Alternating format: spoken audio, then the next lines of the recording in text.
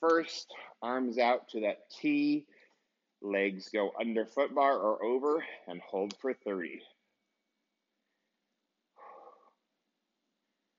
Make sure your shoulders are not up against the shoulder rest. Glutes are holding the legs up, abs are holding the spine in together.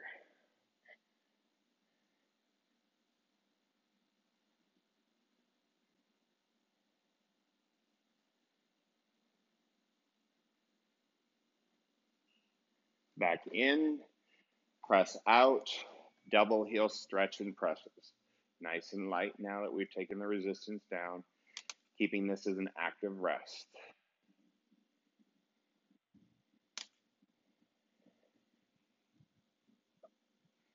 Next one, we're going to press our arms down inside our hips, legs out straight, double leg stretch hold, and half roll up. And then we're going to do bicycle legs.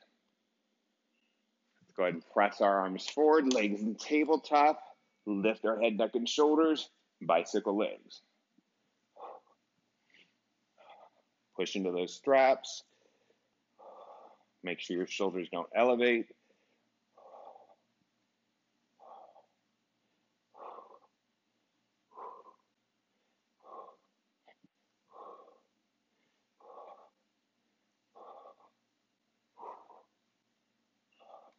Post your straps, come up to standing.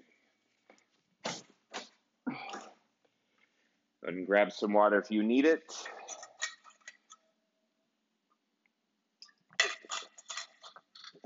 We're going to stand facing back in a lunge position.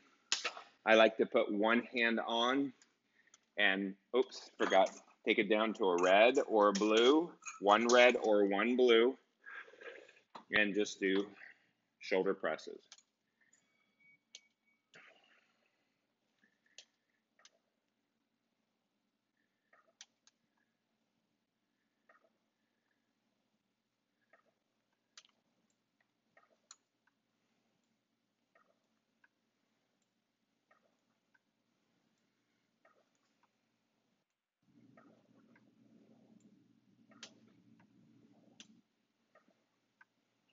Press that arm to straight. Use the carriage to lift you up and press back down and up and down.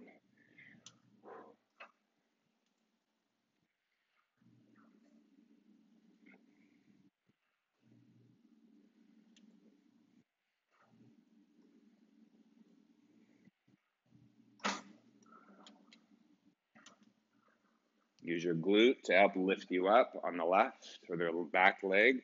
Step forward and in, hands on, left hand closest to you, feet wide, and oblique rotation, pressing the carriage out, rotating the torso. Do your best to keep your hips stable. Try not to get closer to the back of the machine when you rotate. So try to prevent lateral spine flexion. Keep it strict rotation. Pivot back. Start with your hand on the frame, and we'll do two times each side of the best. Shoulder presses, arm presses, and then lower lifts.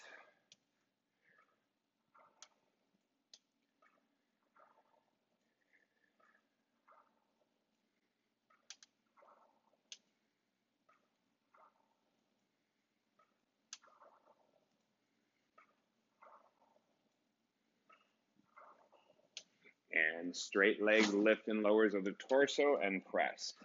Make sure when you press and lower, keep your left shoulder organized. We don't want to push so far that we disassociate that shoulder.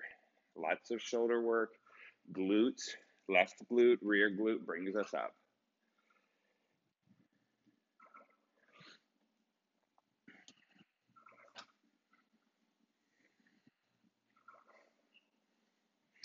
Back to facing in, right hand on the opposite shoulder rest, and